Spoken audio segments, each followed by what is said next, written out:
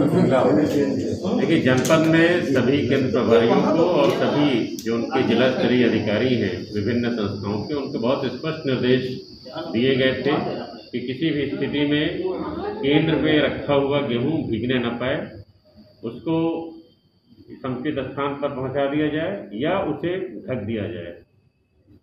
यदि कहीं इस प्रकार की स्थिति पाई जाएगी तो संबंधित केंद्र प्रभारी और उनके जिला स्तरीय अधिकारी व्यक्तिगत रूप से उत्तरदायी होंगे।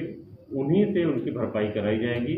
किसी भी स्थिति में किसान भाइयों को कोई नुकसान नहीं होने दिया जाएगा। सर कल बांगरमऊ में एक जगह गेहूँ भीगने का मामला सामने आया। वहाँ पर किस तरह कार्रवाई कराई जा रही है? बांगरमऊ में जो ये गेहूँ भीगने का मामला आया है इसमें मैंने एसडीएम से रिपोर्ट मांगी है और जिसकी भी लापरवाही होगी उसका उत्तरदायित्व निर्धारित करते हुए कार्रवाई की जाएगी।